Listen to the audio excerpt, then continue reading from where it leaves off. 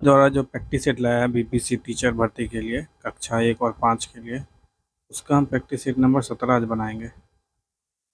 और इस वीडियो में हम मिलनी क्वेश्चन नंबर इकतालीस से लेकर एक सौ बीस बनाएँगे जीएस का क्वेश्चन जनरल स्टडी का क्वेश्चन क्योंकि एक से लेकर जो चालीस तक के क्वेश्चन है मैथ और रीजनिंग के, उसको मैंने दूसरे वीडियो में बना दिया है, जिसका लिंक डिस्क्रिप्शन बॉक्स में है, आप देख सकते हैं। तो चलिए इस वीडियो में हम जीएस के क्वेश्चन को देखते हैं।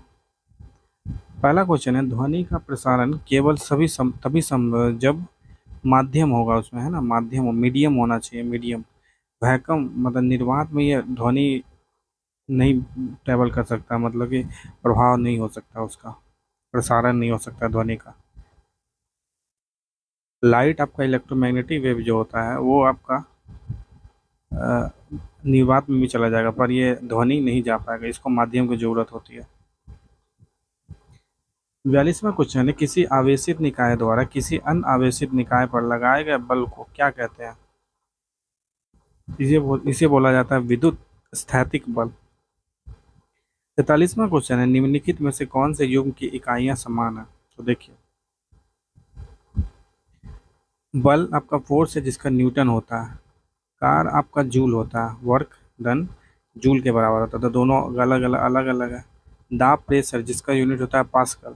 या पास्कल छोड़िए, ये होता है न्यूटन पर मीटर स्क्वायर। और बल होता है न्यूटन, जो कि अलग है दोनों। कार और ऊर्जा का ये देखिए। कार होता है आपका जूल। वर्कडन में ऊर्जा जूल ही होता है। एनर्जी भी आप जूल में ही होता है।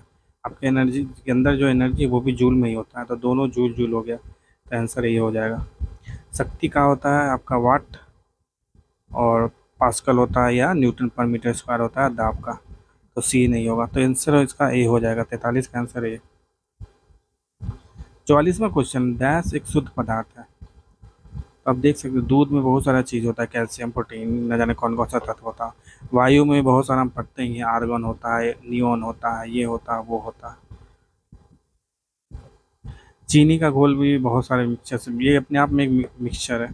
चीनी का घोल, वायु, दूध, ये मिक्सचर कहलाता है। ये मतलब इसमें बहुत सारे चीज़ होते हैं। मिथेन एक सिंपल सा एक मिथेन मिथेन ही होता है। जिसमें सी और एच के बीच का बॉन्ड होता है। बस यही चीज़ होता है। मिथेन में आपको मिथेन ही मिलेगा। पैंतालीसवा क्वेश्चन है। पदार्थ के कणों के बीच आकर्षण बल डैश में अधिकतम होता है। तो देखिए, जिसमें आयन होंगे ना आयन प्लस माइनस चार्ज इसके अंदर में होगा। तो उसको उसमें आकर्षण बल ज़्यादा होता है आकर्षण या रिपल्सन बल, दोनों दोनों बोल सकते हैं। तो देख सकते हैं, वायु, जल, अल्कोहल अल्कोहल में देखिए सी और एच होता है, इसमें आयन नहीं होते हैं, ये नॉर्मल होते हैं को वायलेंट बॉन्ड दोनों एक दूसरे से बस जुड़े होते हैं, इसमें जो इलेक्ट्रॉन होती हैं, दोनों शेयर करते हैं, दोनों आपस में साझा करते हैं। ठीक ना, इसमें कोई प्लस माइनस नहीं होता। और कॉपर की छर में इलेक्ट्रॉन फ्री होता है ना, जिस, बहुत सारा इलेक्ट्रॉन इसमें फ्री मिलता है तो इसके अंदर में आकर्षण या रिपल्सन दोनों ज़्यादा होगा। तो तांबे की छर में अधिकतम होता है। छियालीसवा क्वेश्चन है, मान, छियालीसवा क्वेश्चन है, मानव पाचन तंत्र में डैश से पित्तरस का स्राव होता है तो यकृत लीवर से आपका तरस मतलब कि बाइल जूस का स्राव होता है। इसके अंदर बाइल जूस में क्या होता है? कोई इंजाइम नहीं होता है। और ये फैट के डाइजेशन में, ये ऑब्जर्वेशन में, आपको वसा के ऑब्जर्वेशन में ये मदद करता है। सैतालीसवा क्वेश्चन निम्नलिखित में से कौन से पौधों में आवरण रहित बीज पाए जाते हैं? तो वो है आपका देवदा, जिसमें आवरण या कोई कवरिंग नहीं होती। बीच की कोई कवरिंग नहीं होती है। तो सैंतालीस का आंसर बी हो जाएगा। अड़तालीसवां क्वेश्चन है, नेत्र में प्रवेश करने वाले प्रकाश की मात्रा को किसके द्वारा नियंत्रित किया जाता है? तो ये है आपका पुतली, ऐसे आइरिस के द्वारा किया जाता है। पुतली के द्वारा नियंत्रित किया जाता है। उनचासवां क्वेश्चन है, कार्बन का क्रिस्टलीय अपरूप नहीं है। तो देखिए, कार्बन का क्रिस्टलीय रूप होता है, डायमंड भी होता है, फ्लोरिन भी होता है ग्रेफाइट भी होता है, पर कोयला में कोई पर्टिकुलर स्ट्रक्चर नहीं होता है। कोयला के बारे में आपने कभी पढ़ा नहीं होगा कि इसमें कार्बन इस तरह से होते हैं उस तरह से होता है। ये टेट्राहेड्रल होता है, या एस पी फोर होता है, या एस पी थ्री ऐसा कुछ नहीं पढ़ते कोयला में। तो कोयला के अंदर क्रिस्टलीय क्रिस्टलीय रूप नहीं होता है। पचासवा क्वेश्चन डैश प्रकृति में विद्युत घनात्मक है। तो विद्युत घनात्मक आपका धातु है, क्योंकि इसके अंदर में विद्युत आराम से ट्रैवल करता है। निष्क्रिय विलियन का पीएच मान कितना होता है? सात होता है। पीएच आपको पता है ज़ीरो से लेकर सात से लेकर चौदह तक होता है। ये अम्ल होते हैं मतलब एसिडिक होते हैं, ये क्षार हो क्षार हो कहते हैं मतलब बेस होते हैं। बयालीसवा क्वेश्चन है सघन माध्यम में प्रवेश करने पर प्रकाश की गति में परिवर्तन को क्या कहा जाता है? तो इसे ही कहा जाता है अपवर्तक सूचकांक मतलब रिफ्रैक्टिव इंडेक्स रिफ्रैक्टिव इंडेक्स और ये होता क्या है? सी बटा भी म्यू जो होता है सी बटा भी होता है।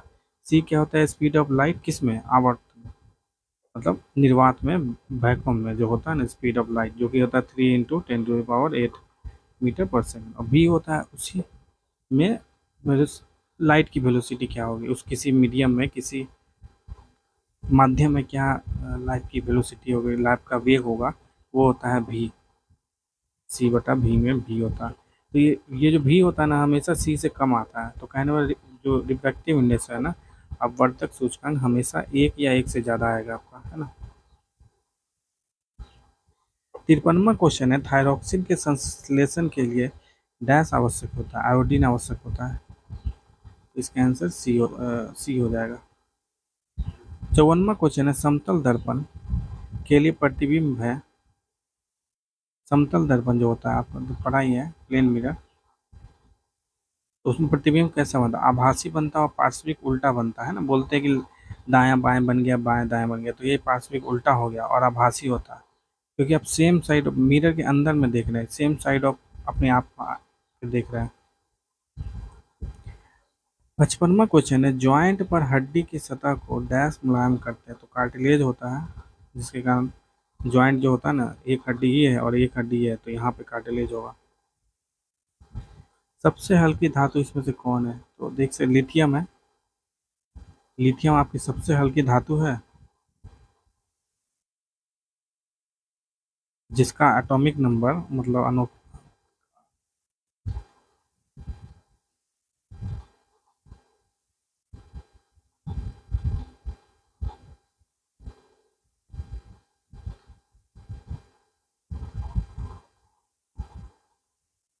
तीन होता है तीन एटॉमिक नंबर तीन होता है इसका लिथियम का। संतावनवा क्वेश्चन है, सफ़ेद फॉस्फोरस को डैश में संग्रहित किया जाता है तो पानी में रखा जाता है सफ़ेद फॉस्फोरस को। बहुत ज़्यादा रिएक्ट कर जाता है इसीलिए। अंठावनवा क्वेश्चन निम्नलिखित में से कौन सा प्रभाव विद्युत धारा द्वारा उत्पन्न नहीं किया होता? है अब देख सकते हैं, चुंबकीय प्रभाव होता है विद्युत धारा के द्वारा।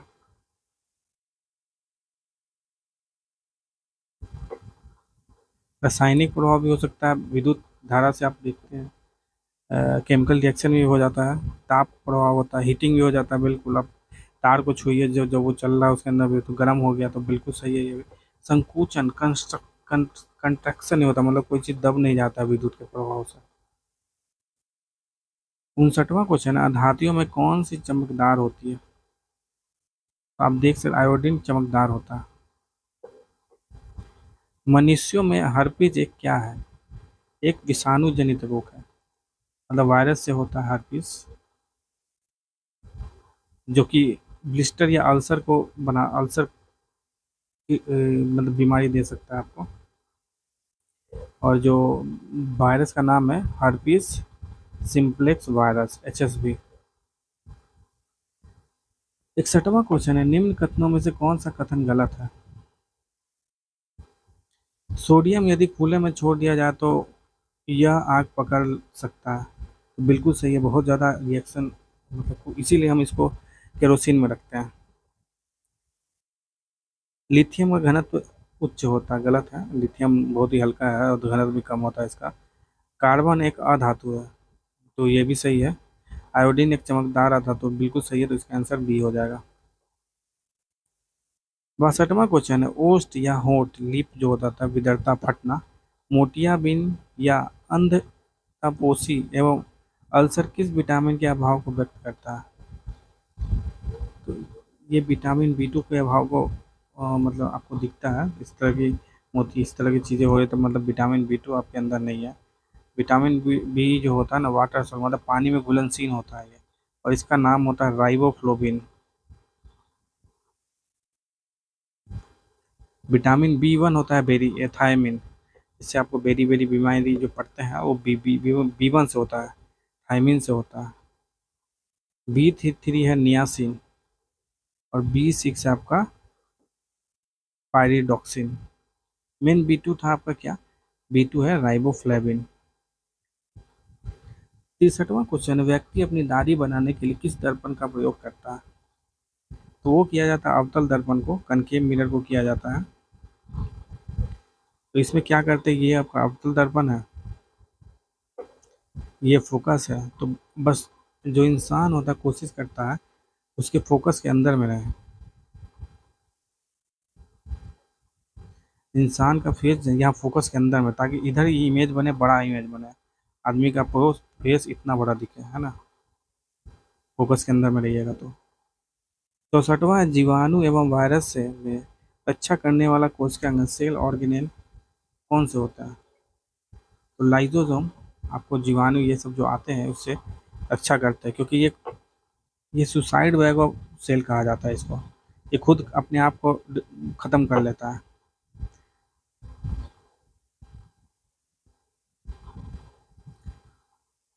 पैंसठवा क्वेश्चन है, निम्न में से किस सिद्धांत के अनुसार कोई रॉकेट अंतरिक्ष में कार्य करता है? वो है संवेग संरक्षण का सिद्धांत। तो न्यूटन का जो तीसरा नियम था, उसके हिसाब, उसके ही बेसिस पे संवेग संरक्षण का नियम आया, जिसको बोलता है law of conservation of momentum कहने का मतलब एक वस्तु दूसरे पे अगर फोर्स ये लगाया तो मोमेंटम ट्रांसफ़र होता, है ना? मतलब कोलिजन से पहले, टकराने से पहले और टकराने के बाद का जो मोमेंटम वो हमेशा बराबर रहेगा। मतलब M one M M one V one मान लीजिए इसका एम वन मास है, इसका एम टू मास है तो एम वन वी वन इसकी वेग इतनी है वी टू इसकी है। ये हो जाता है M into V one dash मतलब टकराने के बाद इसकी स्पीड एम वन और M two into V two टकराने के बाद दूसरे मास की। तो यही होता है संवेग संरक्षण का सिद्धांत। यूरिक एसिड का निम्नलिखित में से किसका उत्सर्जित एक्सक्रेटरी पदार्थ मतलब हम जैसे पेशाब देते हैं, पढ़ते हैं। उसमें मेन क्या यूरिया होता है। और ये यूरिक एसिड भी कुछ लोग निकालते हैं। वो होते पक्षी या सर्फ यूरिक एसिड निकालते हैं। सड़सठवा क्वेश्चन है, कौन से समूह में शामिल तत्व रंगहीन, स्वादहीन और गंध रहित गैस है? शून्य समूह में। कोलेरा रोग किससे होता है? बैक्टीरिया से होता है विब्रियो कोलराई होता है बैक्टीरिया का नाम। उनहत्तरवा क्वेश्चन पुरुष में प्राथमिक यौन अंग सेक्स ऑर्गेन कौन सा होता है? वो होता है वृषण। सत्तरवा क्वेश्चन निम्न में से कौन सा किए किए गए कार्य का उदाहरण नहीं है? लड़के का कमरे में दीवार को धक्का देना। तो बिल्कुल, ये अब भले ही काम कर आपकी एनर्जी लॉस पर ये काम नहीं, ये काम नहीं करा। क्यों? क्योंकि काम के लिए क्या होता है? फोर्स इंटू मतलब बल इंटू डिस्प्लेसमेंट मतलब उसका कुछ भागना चाहिए। आप जब दीवार पे जब फोर्स तो लगा रहे हैं पर डिस्प्लेसमेंट मतलब ये मूव नहीं कर रहा, ये इधर उधर नहीं जा पा रहा तो मतलब इसीलिए आपका ये तो ज़ीरो हो गया। फोर्स तो है मतलब दस मान लो दस न्यूटन लगाया इंटू ज़ीरो तो ज़ीरो ही आएगा। खतरवा क्वेश्चन है, वह पादप जिसमें बीज होते हैं, परंतु फूल और फल नहीं होते तो उसे कहा जाता है पाइनस। कौन सा हार्मोन नहीं है? तो हेमोग्लोबिन पता ही आपको, ये समान जो कि आपके ब्लड में होता है, खून में होता है।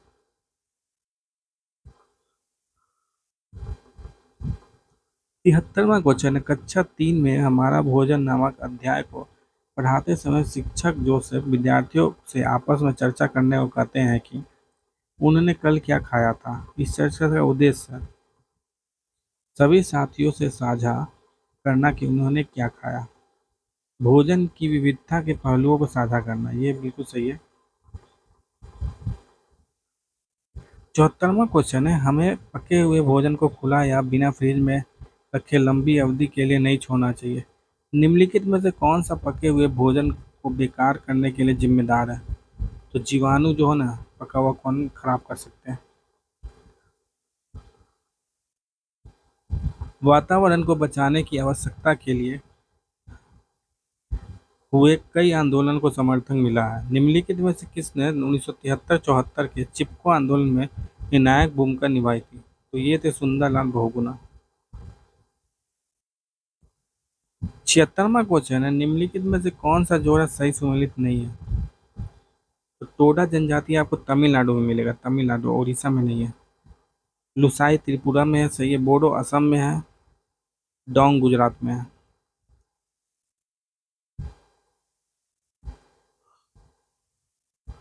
सतहत्तरवा क्वेश्चन निम्न में से कौन सी सौर ऊर्जा परियोजना सही सुमेलित नहीं है? तो पावगढ़ ये आपका है कर्नाटक में। उसके वाला सब सही है।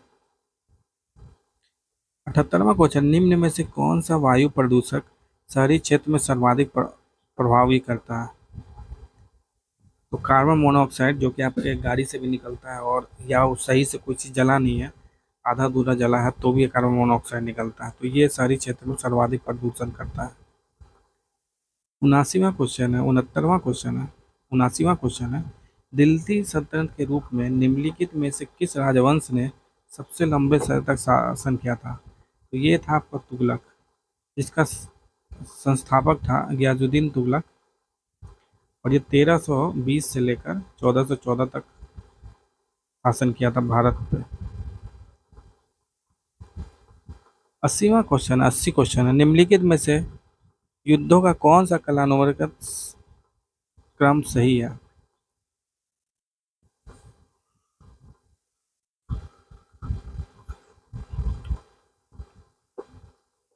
पानीपत, बिल्कुल सही है। पहला बाबर के साथ हुआ था, दूसरा अकबर के साथ हुआ था तो ये सब पहले ही आ जाएगा। हल्दी घाटी भी अकबर के टाइम में हुआ था। पलासी है, फिर बक्सर है, फिर पलासी में हुआ था, फिर अंत में जाके बक्सर में हुआ था, सत्रह सौ चौंसठ में। तो इसका आंसर डी होगा।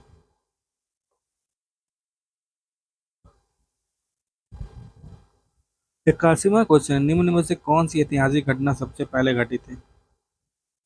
नील क्रांति है ना, इंडिगो रिवॉल्ट।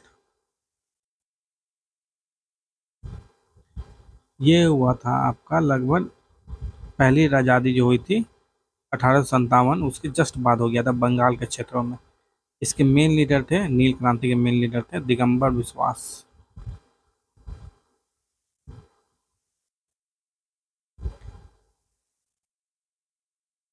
होम रूल हुआ था 1916 में। बंगाल का विभाजन 1905 में हो गया था। और जालियावाला बाग 1919 में हुआ था।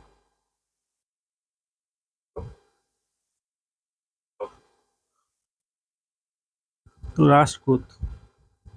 राष्ट्रकूट को दंती दुर्ग नामक शासक ने स्टार्ट किया था 1700 मतलब 700 800 ईस्वी में। और और इसका कैपिटल था, दंती दुर्ग का कैपिटल था मान्य खेत। राष्ट्रकूट का कैपिटल था मान्य खेत पांडव।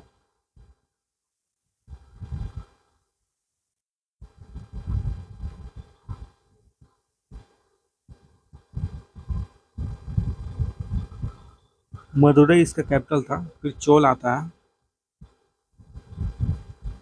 तो चोल का कैपिटल था आपका तंजावुर। होयसाला का कैपिटल हेलीवेट था। इसका पहला कैपिटल था होयसाला का पहला कैपिटल था वेलूर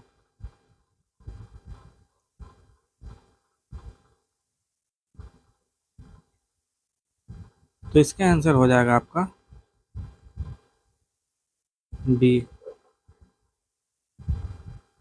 तिरासीवा क्वेश्चन है निम्न में से कौन सा महाजनपद आज भारत का अंग नहीं है? तो दो चानापद जा, महाजानापद सोलह महाजनपद थे, उसमें से दो अभी है कम्भोज और गांधार। ये दोनों भारत के बाहर है। नहीं तो ये सभी भारत के अंदर में है। तो गांधार इसमें से बाहर में है।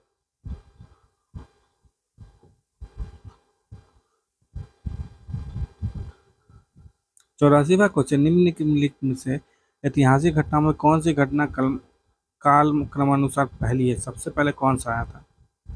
देखिए। होम रूल 1916 में आया था। गांधी इरविन समझौता आया था 1931 में। पाँच मार्च 1931 खिलाफत लगभग 1919 से लेकर 1920 तक चला। 20 बाईस बोलिए। क्रिप्स मिशन 1942 में आया था। देखिए, होम रूलिंग 1916 में ही गया था। तो सबसे तो इस प्रश्न का सही जवाब होगा होम रूलिंग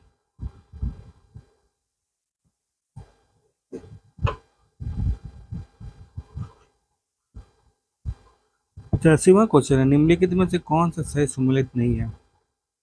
सूफीवाद दिव प्रेम की केंद्रीयता, सिख पंथ ईश्वर की अद्वैतता और मानव समानता। सतपंथ, सामाजिक भेदभाव रहित भक्ति संप्रदाय सगुन किसी भी प्रकार की मूर्ति पूजा को अस्वीकृति। तो ये गलत है। छियासीवा क्वेश्चन है, निम्नलिखित में से किस देश के संविधान से समवर्ती सूची कंकरेंट लिस्ट का विचार भारतीय संविधान में अपनाया गया है। तो ये ऑस्ट्रेलिया से लेकर आया गया समवर्ती सूची। आर्टिकल 246 शेड्यूल नंबर सात।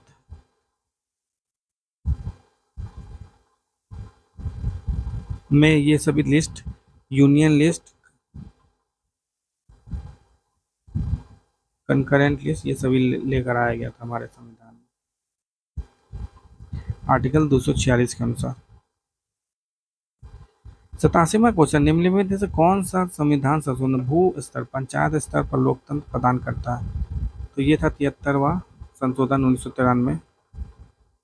उन्नीस सौ बिरानवे, तिरानवे बोलिए। अठासीवा क्वेश्चन, उच्च न्यायालय के न्यायिक पुनर्विचार अधिकार के संबंध में निम्नलिखित में से कौन सा सही नहीं है?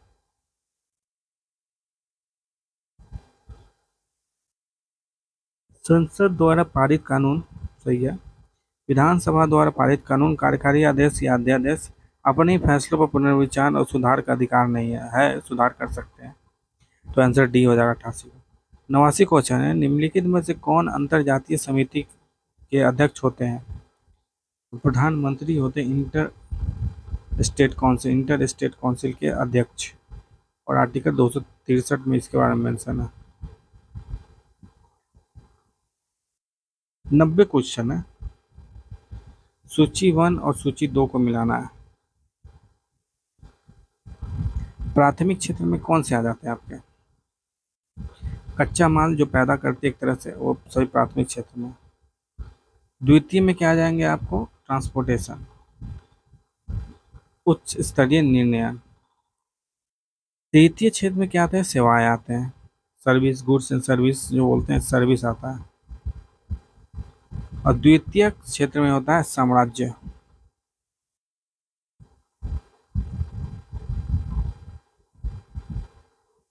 तो इस प्रश्न का, नब्बे प्रश्न का सही जवाब हो जाएगा बी। इक्यानवे क्वेश्चन है, इनमें से किसी, किसने दूरगामी आर्थिक सुधारों को शुरू किया था? तो ये नरसिम्हा राव के द्वारा शुरू किया था, दूरगामी आर्थिक सुधार। P V Narasimha Rao. बानवे क्वेश्चन है, फ्रांस की क्रांति के समय सत्रह सौ नवासी, कहाँ का एक राजा कौन था? तो वो था लुइस सोलवा।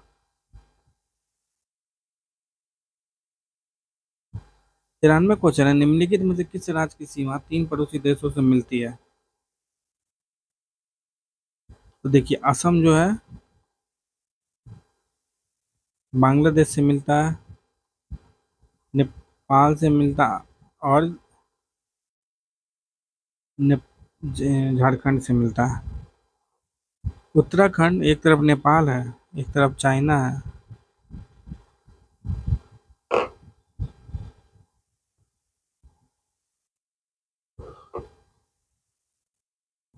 पांचवा है पश्चिम बंगाल।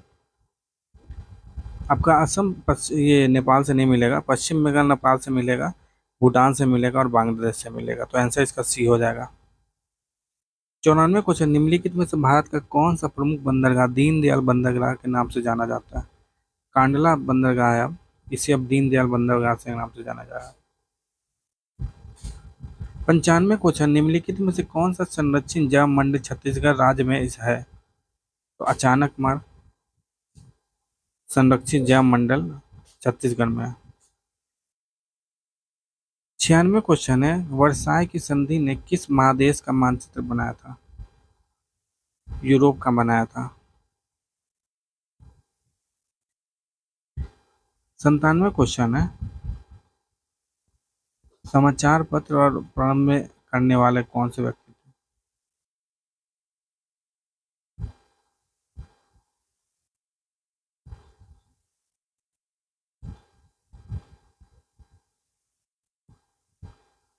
तो बॉम्बे क्रॉनिकल फिरोज शाह मेहता जी के द्वारा शुरू किया गया था।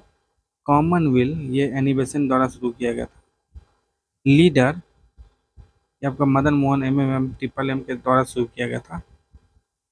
सर्च लाइट सचिदानंद सिन्हा के द्वारा शुरू किया गया था। तो इसका आंसर सी हो जाएगा, तीन, एक, दो, चार। अंठानवे क्वेश्चन है, शिवाजी के गुरु का नाम क्या था? तो शिवाजी के गुरु का नाम था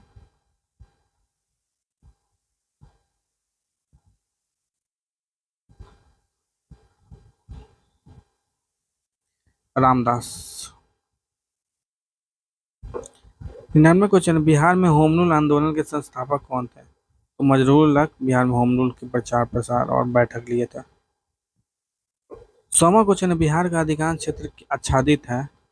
आच्छादित है। तो आपका कछारी मिट्टी से, है ना? मतलब लुबरेश्वर बहुत ज़्यादा है बिहार में, जो हर साल बाढ़ में लेकर आता है, बंगाल से नेपाल से आता है। एक सौ एकवा क्वेश्चन है। भारत के राज्यों में से जूट उत्पादन की दृष्टि से बिहार का स्थान क्या है? तो द्वितीय है। बिहार दूसरे पोजीशन पे और बिहार में सबसे ज़्यादा पूर्णिया में होता है। एक न जूट का उत्पादन। एक सौ क्वेश्चन है। भारतीय संविधान का कौन अनुच्छेद अंतर जातीय नदी जल विवाद से संबंधित है? ये है आर्टिकल दो सौ बासठ। राम किस मिशन की स्थापना की गई थी? ये अठारह में रामकृष्ण जी के शिष्य स्वामी विवेकानंद द्वारा शुरू की गई थी। मतलब नरेंद्र नाथ दत्त स्वामी विवेकानंद के द्वारा। एक सौ चारवा क्वेश्चन राजा राम मोहन राय द्वारा स्थापित प्रथम संस्था क्या थी? प्रथम संस्था का नाम था आत्मीय सभा। लगभग उन्नीस सौ अठारह अट्ठाईस में बनाया गया था। अठारह सौ अठारह सौ अट्ठाईस, अठारह में। एक सौ क्वेश्चन है, बिहार में व्यक्तिगत सत्याग्रह से संबंधित तथ्यों में कौन सही नहीं है? तो अट्ठाईस नवंबर उन्नीस सौ चालीस को शुरू किया था। पहले सत्याग्रही श्री कृष्ण थे, बिल्कुल सही है। अनुराग नारायण सिंह, ये भी सही है। दूसरे सत्याग्रही थे, तीसरे थे ब्रह्मदत्त। और चौथा है ऑप्शन गौरी शंकर सिंह ने चार दिसंबर उन्नीस सौ चालीस को पटना में त्याग्रह किया था। तो ये पटना में नहीं किए थे गौरी शंकर सिंह, पटना नहीं, गया में किए थे। चार दिसंबर 1940 को गया में किए थे। एक सौ छठा क्वेश्चन है, बिहार में किस प्रकार के उद्योगों की प्रत्याशा एवं संभावना है? तो वन आधारित मतलब कृषि आधारित तो कृषि बहुत ज़्यादा होता है बिहार में। बिहार की सबसे पुरानी नहर कौन सी थी? तो सोन नहर जो है ना, सोन कैनाल तो सबसे पुरानी नहर है। एक सौ आठवां क्वेश्चन है, भारतीय संविधान की ग्यारहवीं अनुसूची में पंचायतों के लिए कुल कितने विषय निर्धारित किया तो तिहत्तरवा संशोधन में, ग्यारहवीं सूची, अनुसूची में, इलेवेंथ शेड्यूल में तो पंचायत के लिए उनतीस सब्जेक्ट हैं और अठारह सब्जेक्ट है म्यूनिसपैलिटी के लिए। एक सौ नौवा क्वेश्चन है, डैश का मतलब है कि सर्वोच्च न्यायालय मामले और उसमें शामिल कानूनी मुद्दों पर पुनर्विचार करेगा मतलब अपीलीय क्षेत्र अधिकार में है, शामिल। एक सौ दसवा क्वेश्चन है। 2011 की जनगणना के अनुसार भारत की कुल जनसंख्या में नगरीय जनसंख्या का प्रतिशत है। इकतीस प्रतिशत नगरीय जनसंख्या। बिहार में भी कितना नगरीय? नगर अर्बनाइजेशन एक सोलह प्रतिशत। इक्वाटार का चिम्बराव ज्वालामुखी निम्न में से किस श्रेणी में पाया जाता है? तो ये शांत है शांत है ये चिमराहो ज्वालामुखी। एक सौ बारहवा क्वेश्चन है। स्टैलिक स्टैलेक्टाइट स्थलाकृत का निर्माण होता है भूमिगत जल द्वारा। तो आंसर बी हो जाएगा इसका। एक सौ तेरहवा क्वेश्चन है, वार ऑफ़ लंका के लेखक कौन है? तो वार ऑफ़ लंका के लेखक अमीश त्रिपाठी है। एक सौ चौदहवा क्वेश्चन है, जनवरी 2023 में तार के पत्तों की पांडुलिपि का दुनिया का पहला संग्रहालय कौन से राज्य में बना गया है? तो ऐसा केरल में हुआ है। एक सौ पंद्रहवा क्वेश्चन, जनवरी 2023 में अमेरिका में भारतीय मूल की पहली महिला सिख न्यायाधीश कौन बनी है? तो मनप्रीत मोनिका सिंह भारत पहली भारतीय मूल की सिख महिला न्यायाधीश बनी वहाँ पर। एक सौ सोलहवा क्वेश्चन है, चौदह फरवरी 2023 को किस खिलाड़ी ने रांची में national open race walking championship में खिताब जीतकर राष्ट्रीय पुरुष की 20 किलोमीटर पैदल चाल का रिकॉर्ड तोड़ा तो वो है अर्शदीप सिंह। सत्रहवा क्वेश्चन है, सोलह से चौदह फरवरी तक संयुक्त अभ्यास तर्कस का छठा संस्करण कहाँ संपन्न हुआ? संयुक्त अभ्यास तर्कस, इसका समापन चेन्नई में हुआ है। एक सौ अठारहवा क्वेश्चन है, पंद्रह से बीस तीस मार्च 2023 तक सी ड्रैगन एक्सरसाइज 2023 का किन देशों के बीच में हुआ था? तो सी ड्रैगन एक्सरसाइज जो होता है, भारत और अमेरिका के बीच में होता है। एक सौ उन्नीसवा क्वेश्चन है, भारत के चुनाव आयोग ने 10 अप्रैल 2023 को किस राजनीतिक दल को राष्ट्रीय पार्टी का दर्जा दिया? तो अभी आम आदमी पार्टी जो है ना एपीपी ये राष्ट्रीय दल बन गई है। इसके अलावा तीन पार्टी राष्ट्रीय दल का उनसे अहदा छीन लिया गया। वो है तृणमूल कांग्रेस, फिर कम्युनिस्ट पार्टी ऑफ़ इंडिया है और नेशनलिस्ट कांग्रेस पार्टी। इन तीनों से राष्ट्रीय पार्टी का दर्जा छीन लिया गया। एक सौ बीसवा आखिरी क्वेश्चन है, विश्व होम्योपैथी दिवस हर साल कब मनाया जाता है? तो 10 अप्रैल को विश्व होम्योपैथी दिवस मनाया जाता है। तो ये था आपका टेस्ट नंबर सत्रह का 120 क्वेश्चन। अगर आपको ये वीडियो अच्छा लगा तो चैनल को सब्सक्राइब कीजिए। शेयर कीजिए और वीडियो को नीचे दिए गए लिंक में ज़रूर से ज़रूर लाइक कीजिए, शेयर कीजिए और हमारे साथ बने रहें ऐसे ही। तब तक के लिए